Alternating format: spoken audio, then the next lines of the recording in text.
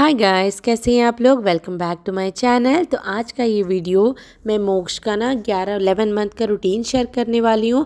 वैसे देखा जाए ना तो 9 से जो 12 महीने के बच्चे होते हैं मतलब एक साल के करीब के बच्चे होते हैं ना, उनके रूटीन एकदम सेम ही होता है। थोड़ा बहुत अगर इधर उधर डिफरेंट होता है ना तो स्लीपिंग पैटर्न में थोड़ा सा हो गया, खाने के रूटीन में थोड़ा सा होता है बट ऑलमोस्ट सेम ही होता है। साथ ही साथ जो उनको सॉलिड दिया जाता है मोस्टली वो सेम ही होता है।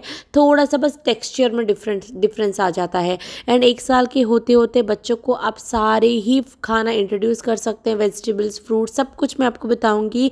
वीडियो अगर अच्छा लगा, एक लाइक ज़रूर करिएगा। एंड जिनको भी ज़रूरत है आपके फ्रेंड सर्कल में फैमिली में, उनको ज़रूर शेयर करिएगा। अगर मेरे चैनल पर नए हैं प्लीज़ सब्सक्राइब करिएगा। तो अगर सुबह उठने की बात करूँ तो मोक्स ना छः से सात बजे के अंदर उठता है। जैसे मैं उठती हूँ मेरी बड़ी बेटी स्कूल जाती है इस टाइम पे तो मोस्टली वो इसी दौरान उठ जाता है एंड बहुत एक्टिव रहता है क्योंकि पूरी रात जो होता है उसकी स्लीप बिल्कुल भी डिस्टर्ब नहीं होती है। वो अच्छे से अपना नींद लेता है तो सुबह बहुत ही फ्रेश होकर उठता है, बहुत अच्छे से माहिका के साथ वो खेलता है। जब तक माहिका स्कूल जाती है, चाहे उसको थोड़ा बहुत नींद भी आए ना तो माहिका जैसे स्कूल जाती है, तब तक तो वो खेलता ही रहता है। तो इस वक्त मैं उसको सिर्फ़ फ़ीड ही कराती हूँ एंड बच्चा कितना दूध पिएगा ये बच्चों के ऊपर डिपेंड करता है कि अगर बच्चे को आप तीन एम देते हो, चार एम देते हो, पाँच एम एल छः एम बच्चा जितना भी पीता है उतना। फिर उसके बाद वो एक डेढ़ घंटे का नैप ले लेता है, तब तक मैं उसके लिए ब्रेकफास्ट प्रिपेयर करती हूँ। तो वो करीब सेवन फोर्टी फाइव आठ बजे उसका पहला नैप लेता है नाइन टू नाइन थर्टी हो जाता है उठते उठते तो मैं यहाँ पे आज बनाऊँगी सूजी। किसी दिन होता है कि मैं यहाँ पे सूजी का हलवा बना देती हूँ। मोस्टली मोस्ट को मीठा नहीं पसंद आता है। तो मैं उसको मीठा वाला खाना आजकल अवॉइड ही करती हूँ देना। तो आज मैं सूजी के साथ गाजर मिक्स करके दे रही हूँ। कैरेट वैसे भी कैरेट में थोड़ा सा स्वीटनेस होता है। तो आप इसको खीर की तरह भी ले सकते हो कि सूजी एंड गाजर का खीर। एंड मैं सूजी का उपमा भी मैं आपको शेयर करूँगी आगे कि मैं मोक्स को कैसे देती हूँ। ये आप चाहो तो ब्रेकफास्ट में दे सकते हो। आप चाहो तो इसको डिनर में भी दे सकते हो। सिर्फ़ और सिर्फ़ सूजी मत देना, बच्चे को खीर बना के इस एज में। बहुत सारे वेजीज ऐड करना ताकि बच्चे को बहुत न्यूट्रिशंस भी मिले एंड वाइटमिन मिले, साथ ही साथ उनको टमी बहुत अच्छे से फील हो जाएगा। तो मैंने पहले सूजी को थोड़ा सा भून लिया। आप चाहो तो घी में भून सकते हो। मैं घी थोड़ा सा लास्ट में ऐड कर लेती हूँ। फिर मैं ऑयल वगैरह कुछ ऐड नहीं करती। गर्म पानी ले लेती हूँ क्योंकि मैं आज ये खीर की तरह सा बना रही थी थोड़ा सा कैरेट एंड सूजी का। तो जब पानी गर्म हो गया, थोड़ा सा कैरेट ऐड करा। थोड़ा सा मैंने इसमें जीरा ऐड करा है। थोड़ा सा एंड नमक इसमें ऐड करा है एंड इसमें फिर सूजी ऐड करके अच्छे से मिक्स कर लूँगी। जैसे कोई लम्स नहीं रहेगा। जीरा इसी के लिए ऐड करा कि बच्चों को डाइजेशन में जीरा बहुत अच्छे से काम आता है इसी के लिए। आप चाहे तो उसको अवॉइड भी कर सकते हो। मैं मोस्टली मोक्सी खाने में ऐसे स्पाइसेस थोड़े बहुत ऐड कर लेती हूँ। इसी तरीके से आप बच्चों को ना इस एज में स्पाइसेस इंट्रोड्यूस भी कर सकते हो। अभी देखो, इसको कंसिस्टेंसी कैसे रखना है? दो, एक साल का जो बच्चा होता है, वो सारे चीज़ें खा लेते हैं बट ऐसे बहुत सारे बच्चे होते हैं जो बहुत ही थिक वाले होते हैं ना, वो नहीं खा पाते। तो थोड़ा सा इसको लाइट करके रखना, जैसे बच्चे खा सकते हैं एंड ये बहुत ही अच्छे से, बहुत लंबे टाइम तक बच्चों का स्टमक फिल करके रखता है। एंड एक और रेसिपी मैं यहाँ पर आपके साथ शेयर करती हूँ, एक तो हुआ सूजी एंड गाजर का हलवा की तरह मैंने बनाया, दूसरा जो है मैं ये उपमा आपके साथ शेयर करूँगी। एंड आप चाहो तो सूजी सूजी को ना पहले से भून के रख सकते हो। एंड यहाँ पे सूजी को मैंने दो से तीन चम्मच सूजी लिया है। उसके बाद मैं इसमें पानी ऐड करके उसको बॉईल करने के लिए रख दूँगी। एंड इसमें अभी जो भी स्पाइसेस इसको ऐड करने होते हैं, वो ऐड करूँगी। एंड बहुत बार ऐसा होता है कि जिस टाइम मैं ब्रेकफास्ट बनाती हूँ, मैं इस वक्त मोक्स को उठा के रखा हुआ है गोदी करके तो वो उठ जाता है तो उसको पकड़ पकड़ के ही मुझे उसके लिए ब्रेकफास्ट बनाना पड़ता है। तो जैसे पानी गर्म हुआ, मैंने इसमें ऐड करा थोड़ा सा हल्दी थोड़ा सा जीरा ऐड करा है एंड पेपर पाउडर थोड़ा सा मैंने इसमें ऐड करा है। चुटकी भर नमक भी मैंने इसमें ऐड करा हुआ है। अभी देखो, मैं उपमा में यहाँ सिर्फ़ और सिर्फ़ पोटैटो ग्रेट करके ऐड करा हुआ है, लेकिन बहुत बार ऐसे होता है कि मैं थोड़े से कैरेट ग्रेट करके थोड़े से पोटैटो ग्रेट करके थोड़े से पीस इसमें ऐड करके, इन सब तीनों को मिला के ना, मैं इसमें उपमा भी बना के मोक्ष को देती हूँ। थोड़ा सा पीस ऐड करो तो थोड़ा सा मैश कर लेना ताकि वो जो, वो भी अच्छे से गल जाएगा इसके साथ मिक्स हो जाएगा। जाएगा। एंड ये अगर ऐसे उपमा बना के देते हो ना, बच्चे बहुत ट्रस्ट में बहुत ही लंबे टाइम तक ना उनको भूख नहीं लगती है। अगर इसको खा के भी अगर किसी के बच्चे सो जाते हैं तो बहुत ही लंबा नैप लेते हैं। मोस्टली मोक्ष का रूटीन ऐसा होता है कि वो ब्रेकफास्ट लेने के बाद एक डेढ़ घंटा आराम से खेलता है एंड उसका सोना वगैरह कुछ होता नहीं है। एंड उसके बाद जैसे कि मैंने बताया, पानी गर्म हो गया होने के बाद ना सूजी ऐड करा एंड इसको बहुत ज़्यादा ड्राई ड्राई करके बच्चे को मत देना, वो लोग नहीं पसंद करेंगे। थोड़ा सा जैसे उनको सेमी सॉलिड होता है ना उस कंसिस्टेंसी में ही उपमा देना ताकि बच्चे को आ, आ, मतलब खाने में बहुत ही ईजी रहेगा। एंड अगर सूजी ना थोड़ा सा क्या होता है खाने के बाद बच्चों को प्यास बहुत लगती है तो थोड़ा सा ध्यान रखना बच्चे को थोड़ा सा पानी भी देते रहना बीच में अगर चाहिए तो। कुछ इस कंसिस्टेंसी होता है थोड़ा सा ठंडा होने के बाद बच्चे को मैं आराम से फ़ीड कर देती हूँ एंड उसके बाद वो आराम से एक डेढ़ घंटा खेलता है परेशान करता है पूरे घर का सामान इधर उधर कर लेता है। इस एज में बहुत सारे बच्चे चलने लग जाते हैं, स्टार्ट करने लग जाते हैं। मेरी बड़ी बेटी इस एज में ग्यारह मंथ में उसने चलना स्टार्ट कर लिया था, बट मोक्ष का ऐसा नहीं, वो खड़ा हो जाता है बिना सपोर्ट के, बट चलना उसने स्टार्ट नहीं करा। सोफ़ा पकड़ के चलता है, वो मैं आपके साथ आगे शेयर करूँगी। एंड चीज़ों को लेना, समझना रिप्लाई करना, अगर आप कुछ बोल रहे हो तो अगर आप हंस रहे हो तो वो हंस के रिप्लाई करते हैं। एंड वो आपके एक्सप्रेशन को फील कर पाते हैं इस टाइम पे। अगर आप गुस्सा करते हो ना, झूठ मूठ के तो उनको भी पता चलता है कि कुछ हो रहा है। आप लोग ट्राई करना, जितना आप इस टाइम पे बच्चों के साथ इंटरेक्ट करोगे ना, उनकी कम्युनिकेशन स्किल उतनी ज़्यादा डेवलप होगी। अभी तो वो लोग बात तो नहीं कर पाएँगे। कम्युनिकेशन स्किल्स का मतलब है कि वो इतने अच्छे से आपके साथ भी ना एक्सप्रेशन के थ्रू अपने लैंग्वेज में आपके साथ इंटरेक्ट करेंगे, आपको भी बहुत ज़्यादा मज़ा आएगा। इसी के लिए बच्चों के साथ जितना हो सकता है, बच्चा जब भी जगह हुआ है, उसके साथ टाइम स्पेंड करो, बातें करो एंड मोक्ष तो मम्मा बोलने लगा है दीदी थोड़ा थोड़ा बोलता है कभी कभी बाय बाय बोलने लगता है पापा को अभी तक बोला नहीं है, नाम नहीं लिया है। बहुत ही रेयर होता है बट इस टाइम पे बच्चे कोई कोई होते कि बहुत ज़्यादा वर्ड्स भी बोलने लग जाते हैं दो दो जैसे वर्ड्स होते हैं ना, उस तरीके से। फिर साढ़े ग्यारह बजे तक मैं उसको मालिश करके नहलाने के लिए तैयार कर लेती हूँ एंड बारह बजे से लेके बारह, साढ़े बारह भी नहीं होता है उससे पहले ही वो बारह पंद्रह तक ना वो सो जाता है, जो उसका होता है दिन में दूसरा नैप फ़ीड लेके सोता है। अफकोर्स जब भी भी बच्चा सोएगा, उससे पहले आप उसको फ़ीड ज़रूर करवा देना, क्योंकि हम चाहे कितना भी ब्रेकफास्ट कराए, बच्चे जब खेलते हैं थोड़ी देर के लिए, दोबारा से उनको भूख लगती है। अगर आप खाली पेट सुला दोगे ना तो बच्चे बहुत जल्दी उठ जाएँगे। नींद एक तो पूरी नहीं होगी, फिर बहुत ज़्यादा क्रैंकी हो जाएँगे। तो जब भी बच्चे सोए, उससे पहले थोड़ा बहुत फ़ीड ज़रूर करवा लेना। विंटर है, मैं बहुत ही फ्रीक्वेंटली मोस्ट का हेड वॉश नहीं करती हूँ। तो जब भी आज मैंने करा हुआ था तो जिस दिन भी करती हूँ ना तो कोम के साथ उसके स्कैल्प को स्कैल्प में ना अच्छे से कोम कर लेती हूँ ताकि कोई भी डर्ट रहता है ना तो बहुत ईजिली निकल जाता है। एंड अच्छे से क्रीम वगैरह भी लगा दिया। एंड वाइटमिन जैसे ड्रॉप्स की बात करें, हम लोग क्या क्या देते हैं? तो इस एज में वही सेम रहता है। एक साल तक के बच्चों को ऑलमोस्ट सेम ही रहता है। जैसे वाइटामिन हो गए वाइटामिन डी हो गए मल्टी से यही सब रहता है।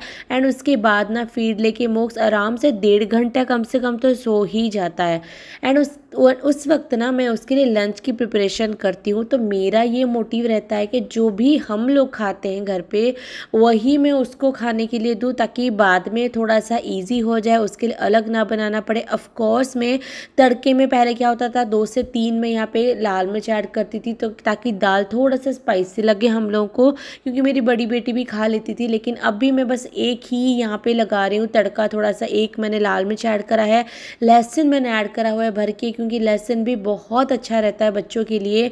तो यही वाला दाल कभी कभी क्या करती हूँ, जो राइस होता है, उसको मैं अलग से बना लेती हूँ, बहुत ही नरम नरम करके।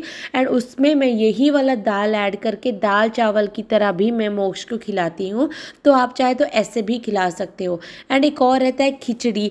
तो खिचड़ी के लिए जैसे मैंने चावल एंड मूंग दाल को भिगो के रखा हुआ था। थोड़ा सा घी मैंने ऐड करा, थोड़ा सा जीरा मैंने ऐड करा है एंड इसमें आप चाहो तो पोटैटो मैंने इसमें ऐड करा है पीस ऐड करा है। कभी कभी कैरेट ऐड करती हूँ, कभी किसी दिन अगर थोड़ा सा इवन गोभी भी मैंने मोश को देना ट्राई करा हुआ है। एक दो बार मैंने दिया है थोड़ा थोड़ा करके दिया है, लेकिन ट्राई ज़रूर करा हुआ है। एंड आप चाहो तो जैसे टमाटर ऐड कर सकते ऑनियन मैंने उसको अभी तक दिया नहीं है एंड उसको मैंने अभी तक नॉन स्टार्ट नहीं करा है। अगर आप चाहो हो तो जैसे ये वाला जो खिचड़ी बना रही हो ना तो ये आप लोग आठ महीने से लेके नौ महीने से लेके आप लोग बच्चों को देना स्टार्ट कर सकते हो। आई एम सो सॉरी थोड़ा सा क्लिप मैंने रिकॉर्ड करा था बट वो अच्छे से आया नहीं है।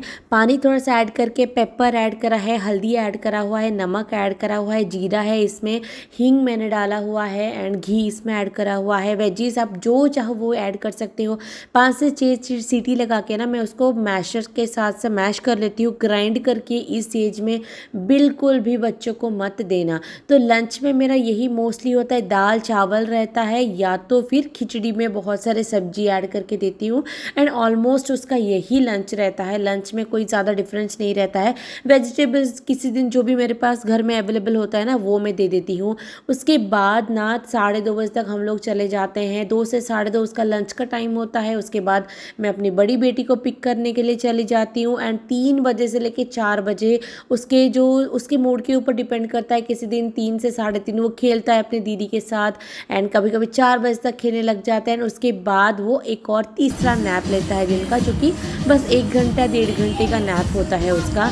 एंड हाँ इस टाइम पे मोक्ष का क्या होता है ना वो सोफ़ा पकड़ के खड़ा होने लग गया है। सोफ़ा में पकड़ के ना इधर से इस कॉर्नर से उस कॉर्नर तक अपने से बिना सपोर्ट मतलब हमारे सोफ़ा को सपोर्ट ले लेके वो चलना प्रैक्टिस करता है कभी कभी खुद से ही करता है।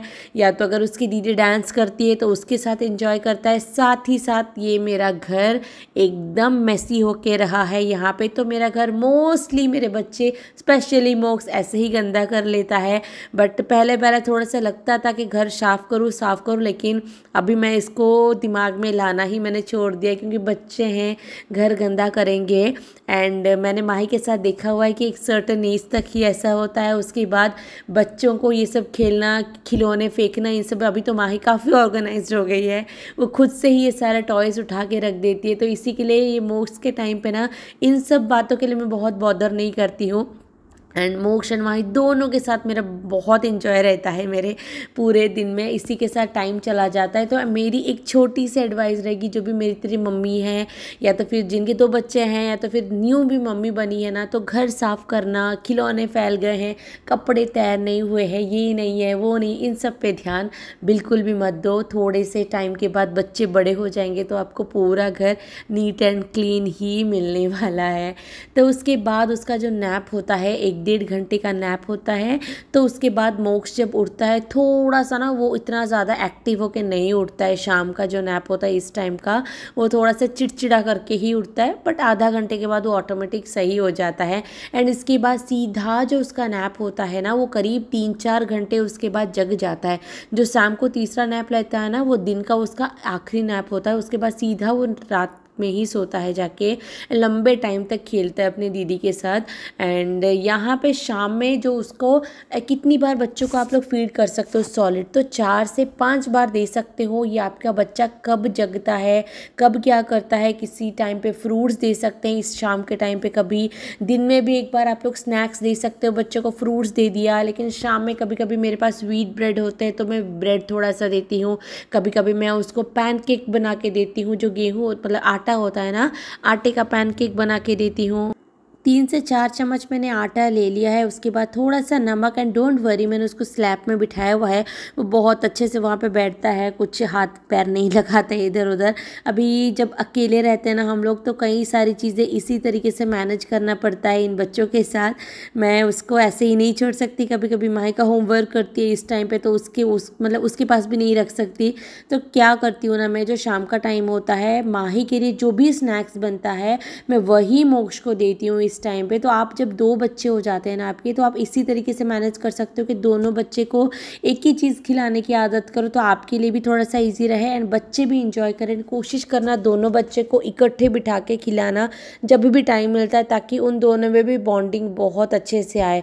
तो तीन से चार स्पून में क्या करती हूँ, आटा ले लेती हूँ। उसमें थोड़ा सा आप लोग चाहे तो जैगरी ऐड कर सकते हो, या तो फिर शुगर ऐड कर सकते हो, या तो फिर सिर्फ़ सॉल्ट भी ऐड करके दे सकते हो, अगर आपका बच्चा मीठा खाना नहीं पसंद करता है। तो मैं शुगर की क्वांटिटी शुगर तो ऐड करती हूँ, लेकिन थोड़ा सा कम ऐड करती हूँ इसमें। एंड हल्की सी मैं इसमें बस सॉल्ट ऐड करती हूँ। फिर पानी ऐड करके आपको एक बैटर की तरह बनाना होता है। बहुत ज़्यादा लिक्विडी लिक्विडी कंसिस्टेंसी में मत बनाना, नहीं तो फिर अच्छे से नहीं आएगा। फिर तवा गर्म होने के बाद मैं इसमें ना थोड़ा सा घी डालना पहले भूल गई थी। इसके चलते, मोक्ष के चलते एंड माँ ही भी आ गई कि, मम्मा, क्या बन रहा है शाम को आज? तो क्या करना है? थोड़ा सा घी लगा के आप लोग इसका एक छोटा सा, जैसे मोक्ष की एज के बच्चे खाते हैं, वो बहुत बड़े बड़े तो नहीं खाएँगे। एक छोटा सा, हल्का सा, इस एज में आपकी मेन मोटिव ये होना चाहिए कि आप जितना फ़ूड बच्चे को इंट्रोड्यूस करवा सको, उतना आपके लिए अच्छा है। बच्चा कितना खा लेता है, बहुत ज़्यादा क्वांटिटी कितना खाता है, इसके ध्यान मत देना। बच्चे को बॉडी में कितनी न्यूट्रिशन जाती है, कौन सा मुझे क्वालिटी फ़ूड जैसे बोलते हैं ना, वैसा।